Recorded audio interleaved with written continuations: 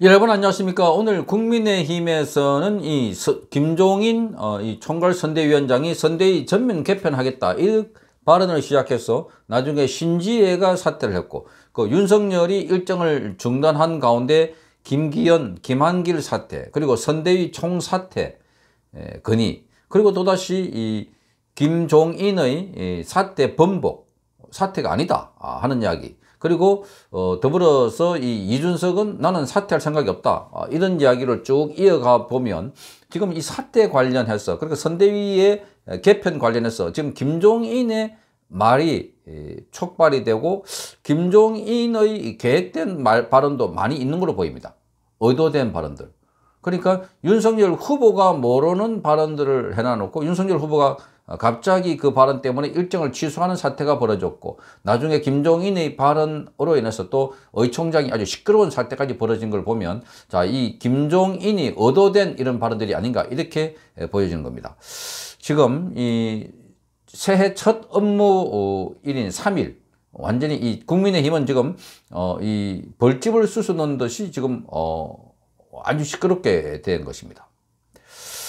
자, 이 그동안 뭐 지지율 하락 등으로 인해서 지금 뭔가 개편을 하고 개선을 해야 된다 하는 이야기는 나왔고 그리고 이 지지율 하락이 무슨 이 구조적인 개편 문제가 아니라 근본적으로 이준석과 그리고 이윤 어, 김종인 김종인이라고 하는 이 두 사람 체제가 윤석열과 맞지 않다 하는 겁니다.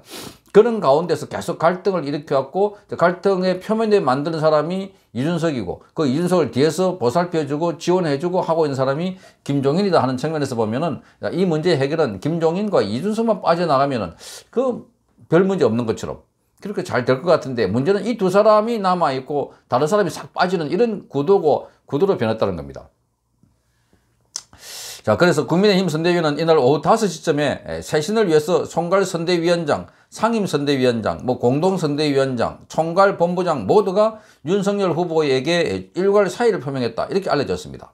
그러니까 윤 김종인 어, 위원장이 오전 9시 선대위 회의에서 자, 최선의 노력을 경조하겠다는 것을 국민에게 보여드리기 위해서 어, 선대위의 전면 개편을 단행하겠다라고 말한 지 8시간 만이었습니다. 자, 그리고 어, 이어진 상황들은 지금 이렇습니다. 국민의힘을 타격한 것은 바로 이 김종인의 입에서 시작된 말이었습니다. 자, 이날 오전에 선대위 회에서 선대위의 전면 개편을 단행하겠다고 밝혔을 때, 자, 윤석열 후보는 그때 당시에 한국 거래소 개장식에 참석 중이었습니다. 정권 거래소 개장식에. 그러니까 윤석열 후보가 없는 그 상황에서, 자, 윤석열 후보는 그 다음에 이후에는 서민금융 공약 발표 등 모든 일정을 취소해버렸습니다. 그리고 당사에 들어와서 수기를 거듭했습니다. 자, 윤 후보는 내일 4일도 모든 일정을 취소했습니다. 자, 이와 관련해서 자, 4일을 표명한 사람들 중에 누구를 재신임할 것인지 안 할지 확정이 안 됐다. 또 어, 김종인 위원장 외에 누가 남을지 누구도 장담할 수 없는 상황이다. 자, 윤석열 후보와 가까운 한 인사는 개편되는 선대위가 국민에게 감동을 주려면 어느 선까지 하, 잘라야 하느냐 하는 게 윤 후보의 현실적인 고민이다 이렇게 말했습니다. 그런데 문제는 이렇게 김종인 총괄선대위원장이 전부 다가 싹 다 개편한다. 여섯 개 본부장이 다 사퇴한다. 하는 이야기를 자 윤석열 후보와 상의 없이 했다는 겁니다. 상의 없이. 그 윤석열 후보도 이거를 밖에 나와서 정권거래소의 개장식을 하는 가운데 이 소식을 듣고 다른 일정을 취소한 것입니다. 자, 김기현 원내대표는 자, 이날 국회에서 열린 의원총회에서 자, 저부터 먼저 공동선대위원장과 원내대표직을 내려놓겠다. 이렇게 했습니다.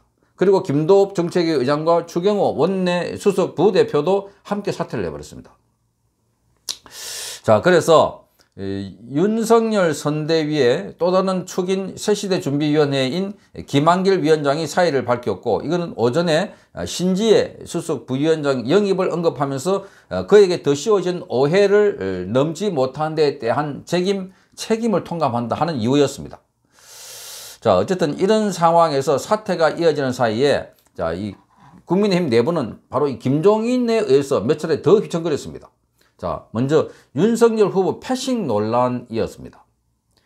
자, 윤, 윤 후보 측 인사는 전날에 윤석열 후보가 김종인과 오찬과 만찬을 함께 했는데 전날 했는데 선대위 개편에 관한 이야기를 나눈 것은 맞다 하면서도 개편의 폭과 시기에 대해서는 조율되지 않았다는 겁니다. 완벽하게 두 사람 사이에 의견이 조율되지 않았는데 아침에 덜컹 이 김종인이 자 전면적으로 개편하겠다 이렇게 하면서 자 본부장들이 다 사퇴한다 이런 식으로 발표를 해버린 겁니다.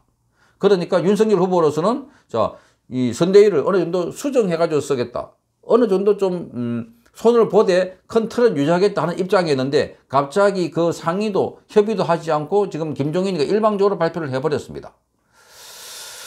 그래서 이 에, 김종인은 이날 오후 5시쯤 여의도 당사에서 윤석열 후보를 만난 뒤에 기자들에게 이렇게 말했습니다.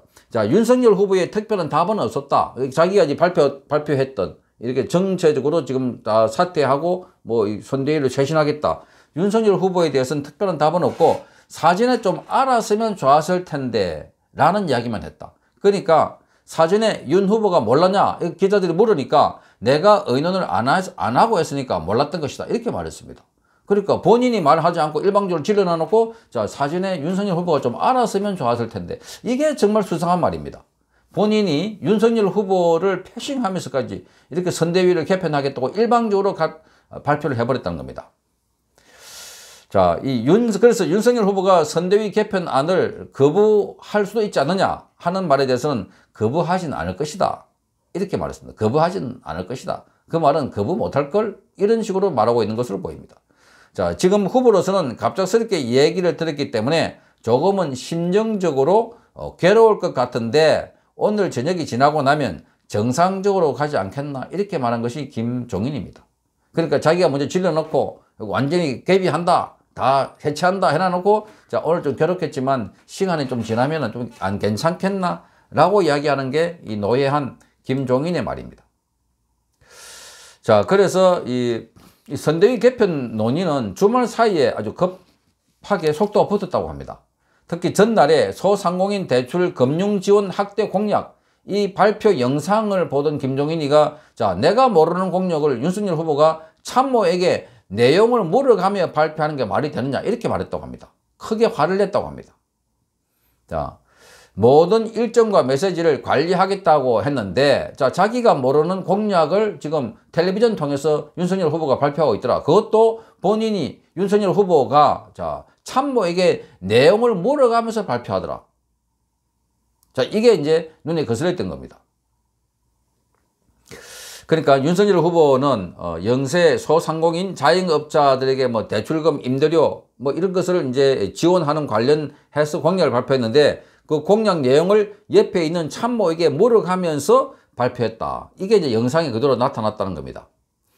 그리고 그 전날 윤석열 후보의 명성교회 예배 일정과 그리고 종로구의 음식점에서 낸 정책 메시지를 두고도 김종인은 자 일관성이 없는 행보다 하나는 교회에 가서 이렇게 종교 행사고 또 하나는 오후에 음식점에 가가지고 정책을 내는 것 자체가 안 맞다 이렇게 하면서 또 더는 봐줄 수 없다 이렇게 참모들을 질책했다고 합니다.